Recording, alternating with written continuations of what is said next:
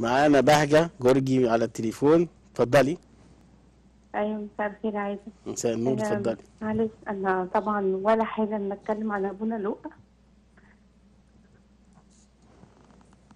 بس أنا عايزة أقول للشعب كله ما تنسوش أبونا لؤى كان كل كلامه عن المحبة.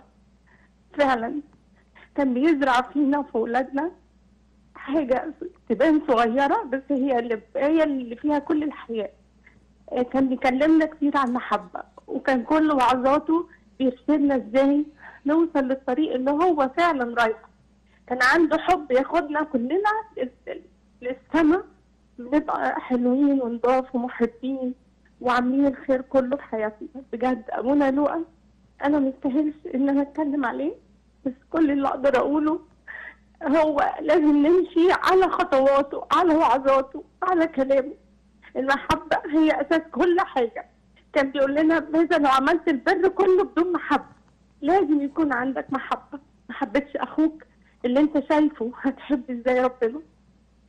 كان فعلا اللي ما يعرفش أبونا لؤى عايزة أقول لكم دخلته من باب الكنيسة ليها رجة في قلب الواحد.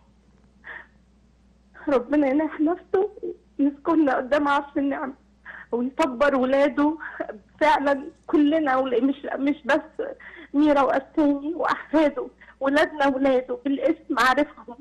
كل الكنيسة ولاده كل الكنيسة حبايبه قريبين لقلبه. ما كانش يسمع واحد عيان غير ما يجري يشوفه حتى لو هو تعبان. لو واحد فرحان لازم يشاركه فرحته.